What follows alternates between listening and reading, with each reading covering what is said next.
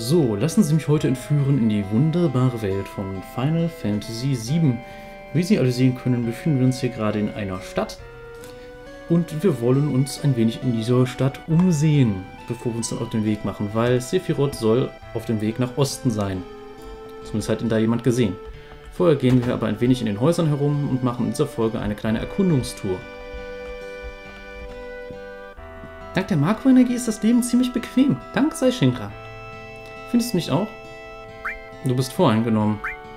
Hm, aber ich hasse es mir vorzustellen, wie das Leben wohl ohne Makroenergie wäre. Ja gut, das ist im Grunde wie Strom. Würde ich mal sagen hier. Makroenergie hat alles viel bequemer gemacht. Aber es scheint, dass viele Pflanzen und Tiere mit rasender Geschwindigkeit aussterben. Ich finde, das alte Leben war besser. Findest du nicht? Ja, vielleicht. Klar habe ich recht. Das weißt du nicht, wahr? Oh, gut.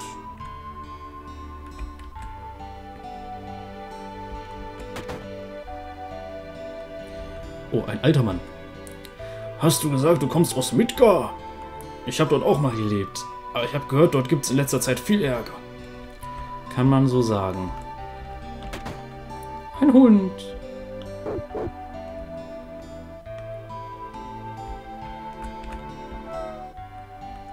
Der macht Geräusche?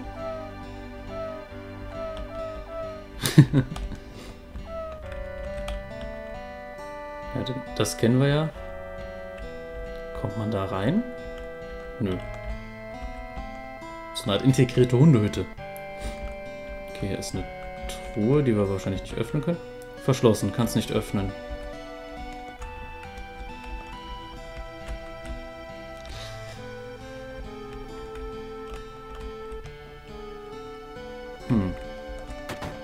Kann sein, dass die Folge heute ein bisschen kurz wird, je nachdem, wie lang die äh, Stadtrundtour, also der Stadtrundgang dauert. Da war ein komisch, dreinbl äh, komisch dreinblickender Mann mit einem schwarzen Umhang. Er trug ein furchtbar aussehendes Schwert. Ja, das war Sephiroth. Hier kommt man hoch. Da auch. Hm. Gehen wir erstmal hier hoch. Hui, Drehwurmtreppen.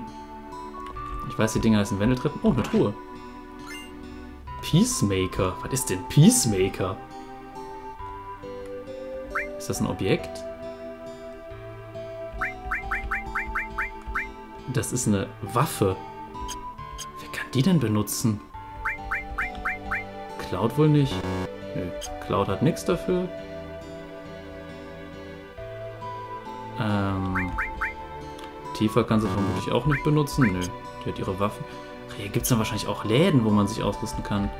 Bei dem Tigerchen oder nee, also bei Red glaube ich nicht, dass der auch nur eine dieser Sachen benutzen kann. Der hat ja irgendwie diese komischen Klammern. Gehen wir einmal nach oben.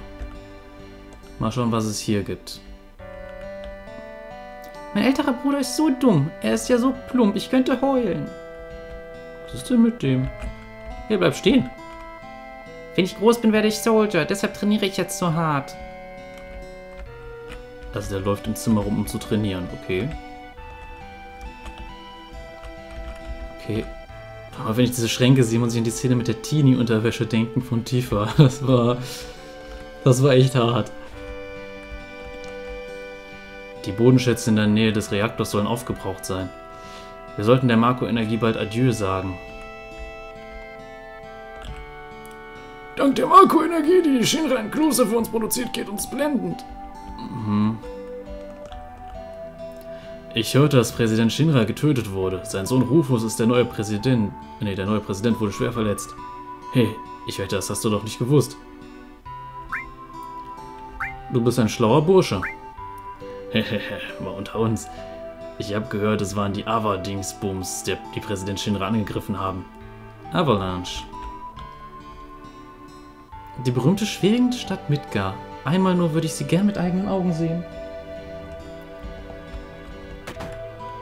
Gibt es hier nicht irgendwo einen Laden oder sowas? Ist es wahr, dass Shinra Ungeheuer erschaffen hat? Das ist wahr. Ja, wie auch immer, solange wir Reaktoren benutzen, können wir Shinra nichts vorwerfen. Aber gut, was ist denn hier oben? Alles erkunden. Die Welt ist in Frieden, alles ist in Ordnung. Ähm, nein, nicht ganz. Da ist ein schwertschwingender Serienkiller. Weiter Suchen zu sagen. Mein Vater war Grubenarbeiter, aber er konnte nicht mehr zur Arbeit gehen, nachdem Ungeheuer in der Mithril-Mine aufgetaucht sind. Jetzt sitzt er nur noch in der Kneipe und lässt sich volllaufen. Hm. Das hier sieht nach einem Laden aus.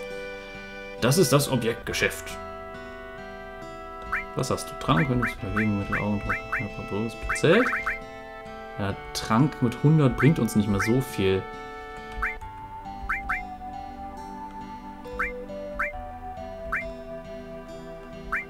Bringt eigentlich alles jetzt nicht so viel. Kann man dem irgendwas verkaufen? Den Peacemaker, aber da weiß ich nicht, wer das brauchen kann. Dieses 4-Slots-Ding finde ich ziemlich unnötig. Achso, Mithril-Armband können wir verkaufen, zweimal. Oder? Ja, warte mal kurz. Ähm, schauen wir uns jetzt mal in den anderen Geschäften um. Ob die vielleicht bessere Waffen oder sowas haben. Das ist das Materia-Geschäft. Erde, Gift, Raub, Analyse, Behandlung. Behandlung hört sich gut an. Ich glaube, damit kann man vermutlich irgendwelche Statusänderungen heilen. Einmal gekauft. Und Gift ist auch schon mal gut. So. Was kaufst du denn? Ach komm, dieses 4-Slots-Ding kann ich verkaufen.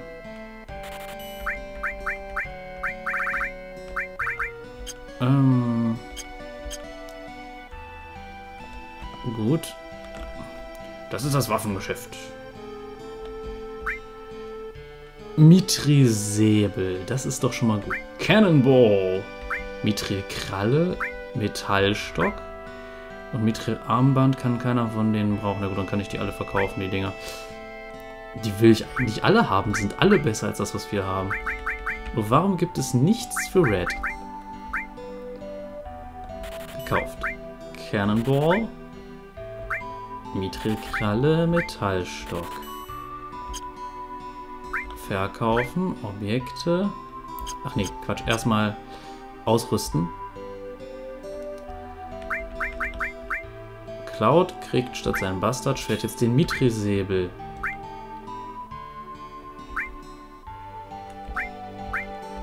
Gut. Und ähm, ausrüsten tiefer kriegt statt der Metallfaust die Mithril-Kralle. Für Red haben wir leider noch nichts, aber wir können ja trotzdem verkaufen. Hoppla. Das Gatling-Gewehr will er nicht kaufen, das finde ich komisch. Metallfaust wird verkauft. Das Bastardschwert kauft er auch nicht. Grundausrüstung.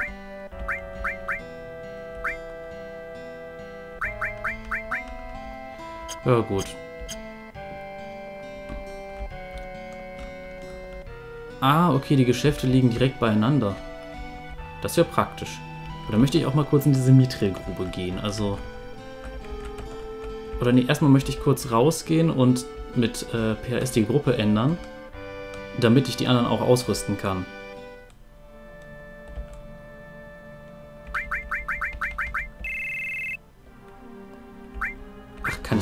Nee, Cloud kann ich nicht rausnehmen.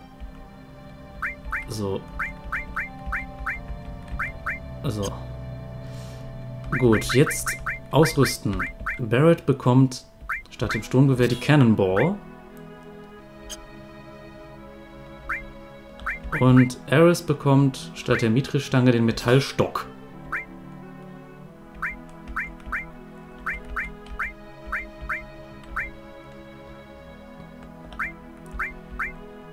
Glaube, ich gebe der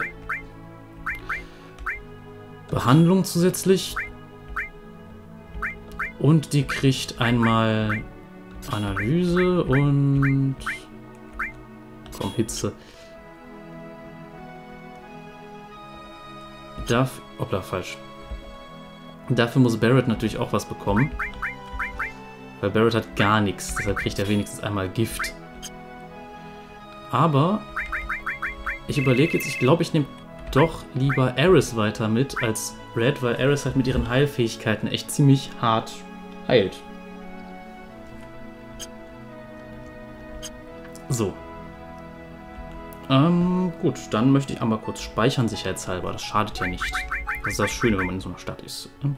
Oder nicht in so einer Stadt, auf der Weltkarte meine ich.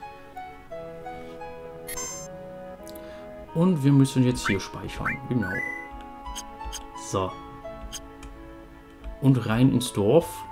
Und rein in die Mithril-Grube, wenn das da so ist. Vielleicht gibt es da irgendwelche Items, die wir gut brauchen können. Immer schön alles erkunden. Ach nee, das ist die Kneipe. Vielleicht gehen Anschläge auf das Konto der Avalanche. Aber ich glaube, wir, sie wurden von den Soldier ausradiert. Ah, nicht ganz.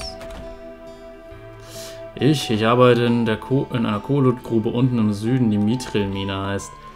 Und zu der Zeit ungefähr begann die, äh, ungefähr begann die Ungeheuer zu erscheinen. Danach ging das Geschäft den Bach runter und jetzt verbringe ich hier die Tage und betrinke mich. Ich hörte, dass Terroristen einen Bombenanschlag auf einen Mitgereaktor verübt haben. Es haben sich in letzter Zeit wirklich viele gefährliche Unfälle ereignet. Ich hasse es. Ich hasse es einfach. Ist hier sonst irgendwer? Achso. Raus hier! Okay, nicht in die Küche gehen. Äh, okay, okay. Aber ich glaube, wir gehen erstmal zur Mithril-Mine, bevor wir Sephiroth folgen.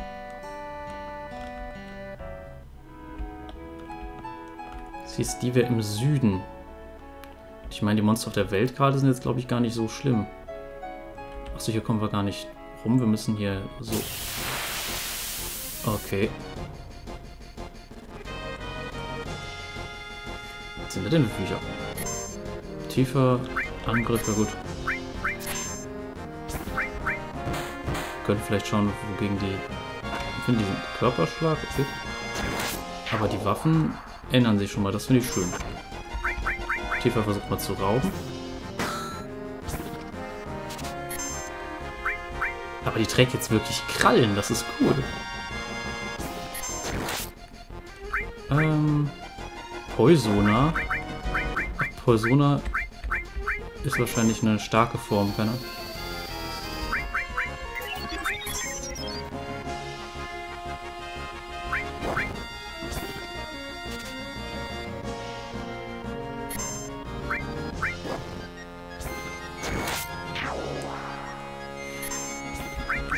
Irgendwann müssen wir doch mal von denen irgendwas stehlen können. Manchmal haben die nämlich sogar Waffen dabei, soweit ich weiß.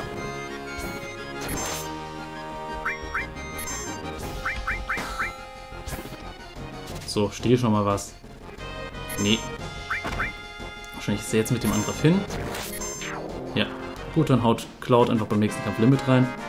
Würde sagen, das neue Schwert passt irgendwie nicht so ganz zu ihm. Man hat sich einfach so sehr an das andere gewöhnt. So,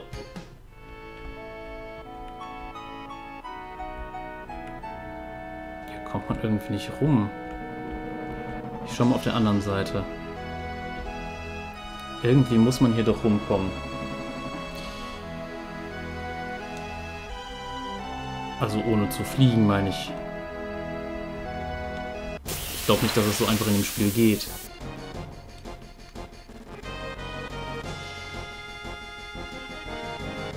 Irgendwelche Motorradhirnis.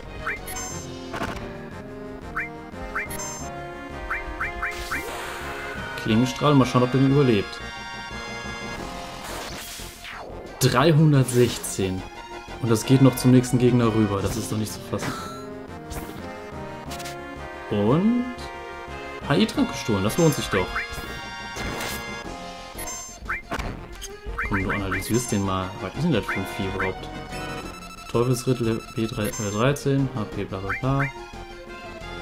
Keine Schwächen, so wie es aussieht.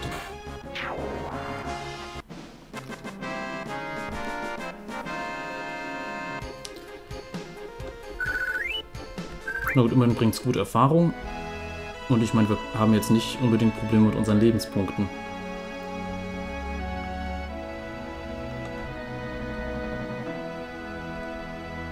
Also wie gesagt, ich möchte erstmal nach Süden gehen. Wenn das hier sehr nach einem Moor oder so aussieht. Was ist das denn? da möchte ich gegen kämpfen, was auch immer das ist. Ach du Heilige. Raub. Analysieren. Nichts zu stehlen, okay. 430! Mit Gasolon. Keine Schwäche.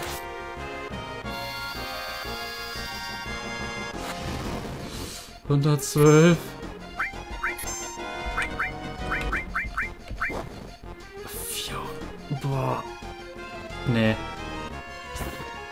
Das schaffen wir nicht. Können wir eigentlich nur draufhauen und äh, auf das Ende warten. Also gegen den sollte man wahrscheinlich jetzt noch nicht antreten.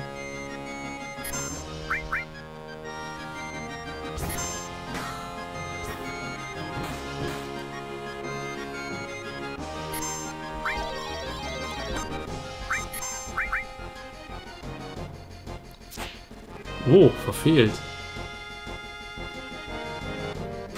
Die Kralle sieht schon cool aus. Aber gut, dass wir gespeichert haben, also.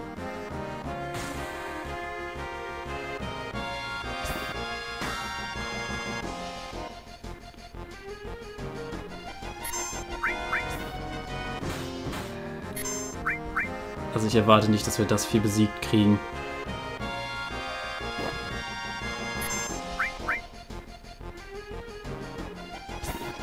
Also Ares übersteht wahrscheinlich nicht mal den nächsten Angriff. Und ehrlich, mir macht das jetzt auch nicht unbedingt was aus. Ich meine, wir haben gespeichert. Und... Was? Ich hat Ares so wenig Schaden gekriegt? Gut. Limit. Heilender Wind. Ich glaube nicht, dass sie damit Leute wiederbeleben kann, aber... Halten wir mal lange durch.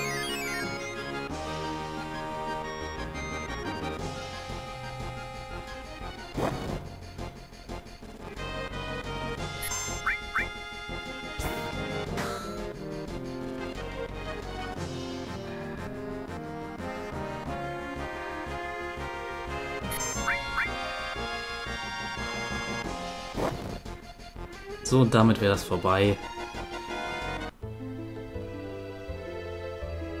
Den äh, greifen wir dann irgendwann an, wenn wir stärker sind. Ja, wir kennen das Ding, Squaresoft, bla bla bla. Obwohl weiter ist eigentlich gar nicht nötig, weil ich möchte ja jetzt hier die Folge beenden. Und ja, wir sehen uns dann beim nächsten Mal wieder. Ich hoffe, ihr habt Spaß am Let's Play. Und ja, danke fürs Zusehen. Lasst konstruktive Kritik, das ist ein blödes Wort, konstruktive Kritik da. Ja, wenn euch das gefällt, würde ich mich auch über eine Bewertung oder einen Kommentar freuen. So, bis zum nächsten Mal. Cheerio!